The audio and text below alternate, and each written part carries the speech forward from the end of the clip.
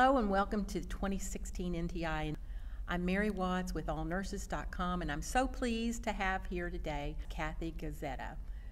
Ms. Guzzetta is a nursing mentor, consultant, and an award winning researcher focused on the importance of holistic care. She has served on the clinical faculty at George Washington University School of Nursing in Washington since 2007. Mm. You were honored today as the preeminent nurse expert on family presence and as the consummate mentor of pediatric patient care research by nurses at the bedside. So congratulations Thank on you. that. Thank you. Tell me a little bit about what you mentioned before about what did the room do when you presented that? Well, Mary, it's so interesting because I've been working on family presence um, during resuscitation in adults and in pediatrics since 1994. Um, when a nurse came to me and she said she just brought the mother and father in um, to the room of a patient who was undergoing resuscitation. He was 14, he had fallen out of a tree, had severe uh, trauma, um, and the patient was dying. And the parents said they had to get in, and the father had had bad words with the the child um, just a couple of hours before, and they needed to get in to say things. And um, she brought the mother and father in the room, and uh, and the child died. Um, following that, the next day she came to see me, but her there was talk that she was going to lose her job because who did she think she was to bring a family in during in a trauma bay during mm-hmm. resuscitation. And then she asked me the question. She said, "Dr. Guzzetta, why do we ban all families from the bedside during resuscitation?" And of course, that was my knee-jerk response. Well, because that's what we do. You know, that's what we do. We I was trained that you get family out of there because it's too traumatic for them, and they, you know, they couldn't stand to see all that was going on, and you get them out of the room gently and quietly, and you go on with your resuscitation. And um, and then I got to thinking, you know, my background is holistic nursing, cardiovascular nursing, critical care nursing, and I was thinking, what could be more holistic than the integrity of the family unit mm-hmm. and to be together in crisis. And I, and I said to Teresa, I said, I have no idea why we ban families um, from the bedside during resuscitation. And that started our journey in 1994 to where we are today. And it has fueled a number, a number of dozens of different research studies and publications and that kind of thing. And it sounds to me that, you know, you saw kind of a conflict there and you asked why. You know, why do we always do this? We've always done it, but is it what we should continue to do, or is there a better way? You also mentioned holistic nursing. How would you define holistic nursing? Well, I think there's a number of ways to define it, Mary. I think it's, you know, it's an individualized kind of thing, but I, I think basically it's enhancement of healing of the whole person mm-hmm. from birth to death. And, you know, birth is tends to be a very joyous thing, death not so much. Um, but from birth to death. And the whole family presence um, idea fits is just an operationalization of what patient centered patient family centered care is and what you know the biopsychosocial spiritual body mind spirit um, kind of care is and we operationalize that um, in a number of ways. And you know i was fortunate back in 1981 to i guess i was fortunate to write that book called critical care nursing body mind and spirit. And um, what we what i knew because i am a critical care nurse is that critical care nurses are technical and they like they like the details and they want to be the best of the best and have the best knowledge of pathophysiology and pathology and drugs and and machines and ventilators and electrocardiograms and I knew that in this book we needed to deliver the best of the best mm-hmm. of the traditional biomedical care but also then to integrate it with the best of the mind and spirit therapies. And, you know, how do you do that? And people would say to me, well, we don't have time. We're so busy. We've got all these patients and they're so sick. And, you know, I would say to them, there's, it's a, it's a different way of being. And Exactly. let me give you a for example. A patient is having severe pain and morphine is ordered and the nurse goes to get the morphine and draws it up and comes back in and is ready to inject.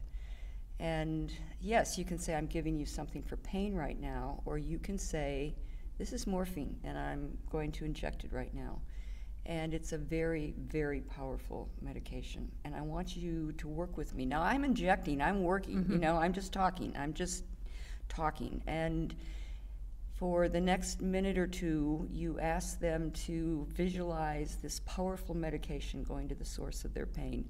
You ask them to close their eyes if they can for a minute, and let's take a deep breath, and let's let your belly rise and fall. And let's work with that pain medication.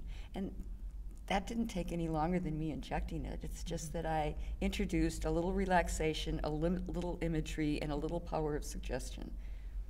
That's holistic nursing. Exactly. You learn to incorporate it into your actions already, what you have to do to provide care. And you um, kind of alluded that, you know, we're really good as nurses to address the physical aspect. Yes. That's the easy part, really. Yes. And we focus on that, but we tend to forget, you know, next easiest is the psychological, the mind. And the spiritual seems to be one of the harder things. But, you know, in your writings, you've written about that, you've, um, you know, examined all different aspects of that. Tell me a little bit about how you have found that addressing body, mind, and spirit affects patient outcome. Well, because, you know, the, the parent of a child who's in pain, yes, they want their child not to develop pneumonia. Yes, they want their child to get better. But they also want their child to be able to sleep tonight and to be able to eat a meal or get some nutrition and fluid. They are concerned um, about a child in pain. And so, in terms of all the outcomes that biomedicine looks at, in terms of the, all the pathophysiology and all the curing that they want to accomplish with drugs and surgery and, and that kind of thing, um, that's really not what that child and the mm-hmm. parent are the most concerned about. They're really concerned about looking at this whole child and the whole parent child relationship. And to me, the only way you can address that is, is to, to look at the biopsychosocial, spiritual. And when families understand that you're not just giving somebody a medication, but you're giving them the medication in conjunction with what the patient wants. Now I'm flipping back from adults to, to kids, but um, again, one of the things that we do with adults is we partner with them and in the decision making process and in the outcomes. And what do they envision their outcomes to be?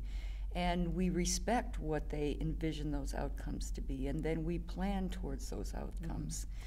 And so it's a partnership, I think, unlike what it used to be decades ago when the medicine guys were the, you know, the um, power keepers and made all the decisions, and we as patients would say, "Yes, doctor," but Whatever you want. but that's not, you know, that's not the kind of patient we have anymore, and it's certainly not the kind of parents that I see of children right now. And um, they are demanding that they're part of this process Mhm. from, for the most part, and should be demanding and should be part of the of the partnership team in making those kinds of decisions. Exactly. We have to consider the whole unit, the family unit, that when a patient is in the hospital, we have to look at them, you know, the family affects them and their outcomes, and we can't ignore them. And that kind of gets us to the next point um, that you're one of the foremost leaders on family presence during resuscitation. And that is such a difficult thing for anybody to witness. It's difficult for nurses to to be part of that. But for a family, they don't know what's going on and they're worried, they're concerned. So, what would you say um, as, as a website that um, is there for thousands, hundreds of thousands of members, all nurses, we would like to know what would be one thing that you would like to share with our membership to make this very traumatic experience? Thank you for asking that question. It's an excellent one. The most important point about family presence during resuscitation is that it's an option and that not all families want to be there. Um, in the research that we've done in the dozen or so studies, um, we have found that in pediatrics, about 97 to 99 percent of the parents want to be there. They want to be there. They see that as their role. They're the child's advocate. They want to be there as a parent. Um, it falls down a little bit lower with adults, probably in the 87% that want to be there. But the point is that not all people want to be there. So that's the first option um, because it's n- not an expectation that they be there. And um, nor would I invite somebody into the room if I saw they came in with an altered mental state from drugs or alcohol, or if they were curled up in the corner in a fetal position, or if they just had put their fists through the wall. I mean, those would be all kinds of um, candidates that would not be candidates for coming in the room.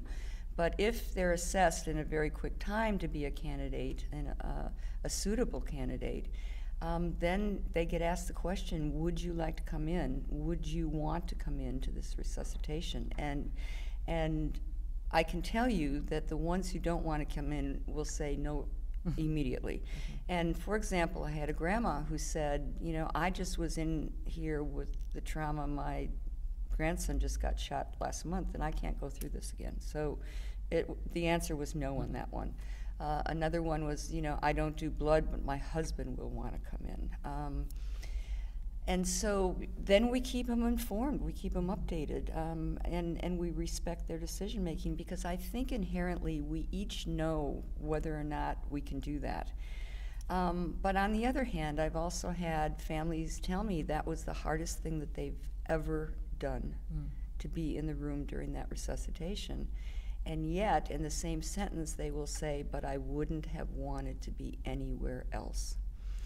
And so that gives you, um, you know, if I had anything to say to all nurses, it would be the need to be there by the majority of families and parents is so incredible um, that it probably is going to be illegal someday to, you know, ban families and parents from the bedside because the benefits will be so concrete and, and so established as standard of care that um, there could be lawsuits if you don't bring people in.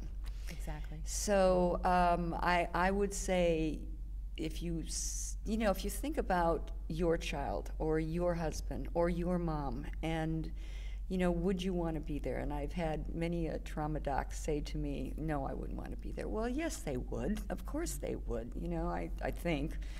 Um, but, but we know, at least from the research, that the majority of people do want to be there.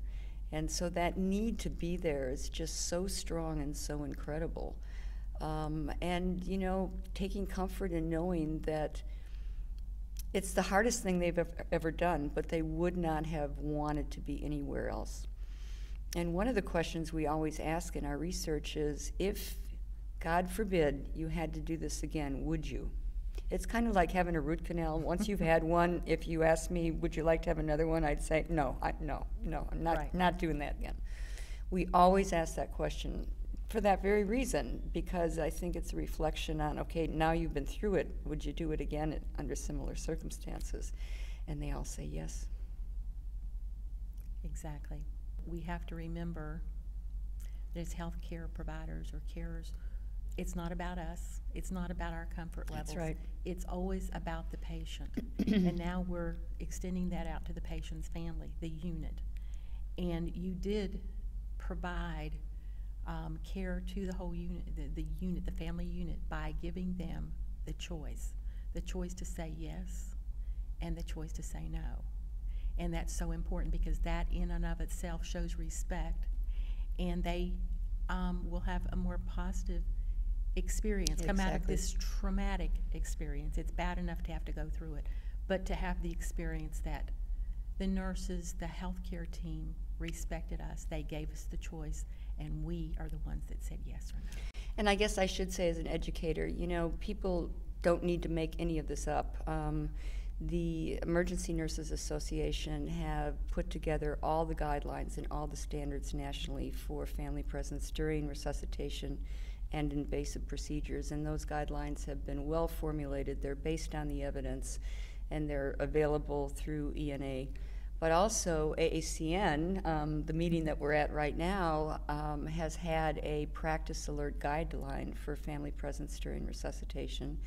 Um, I just got done revising it, um, and it was published in Critical Care Nurse in February of this year. And it's got the latest research, the latest evidence, the latest documentation, the guidelines for how to do this, how to set it up. It's not something anybody needs to reinvent. And it's something that people have used in, in study after study after study to be sure, because the, the number one thing that people worry about is that families are going to lose control and interfere with patient care. And, you know, let's face it, patient care is the priority. That's why we're there. We're there to take care of that patient, and the family, you know, quite honestly, is in the background. Um, the family gets in the way and stops the resuscitation for any reason, that is not what's best for the patient. And so that's part of what we do is to see if possible if there can be a family presence facilitator there. That is someone who's assigned to that family to guide them through the experience before they get in the room, while they're in the room, and to de- debrief and meet their needs after they've been in the room. Um, but all of those guidelines are all set up, and it's not complicated. It's you know takes a little education, and certainly I would encourage um, your your nurses, all nurses, to do some reading on it. Um, I- I don't see a lot of family presence during resuscitation. You know, outside in the parking lot of a hospital or in the cafeteria. I mean, it does happen. Certainly, we know it happens. Um, I don't see a lot of it going on on the medical surgical floors or, you know, in, in OB or psych. Um, and so those, um, those kind of locations tend to not be as involved as if you were in a critical care unit where it happens frequently or an emergency department. Well, I want to thank you again, Dr. Guzzetta, for talking to us Thank about you. this. This is such an important aspect of nursing. Thank you. So thank you very much. Thank you. Joy being here. Thank Thank you.